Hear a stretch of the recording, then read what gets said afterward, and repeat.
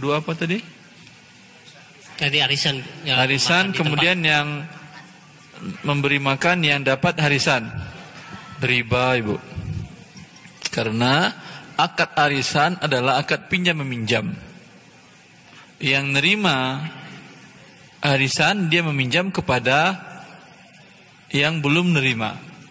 Maka bila ya belum terima makan kepada penerima arisan berarti mereka makan dari dari orang yang menerima pinjamannya dan termasuk riba.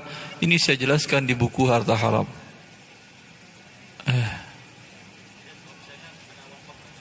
Ah, Kak, solusinya, solusinya seperti tadi.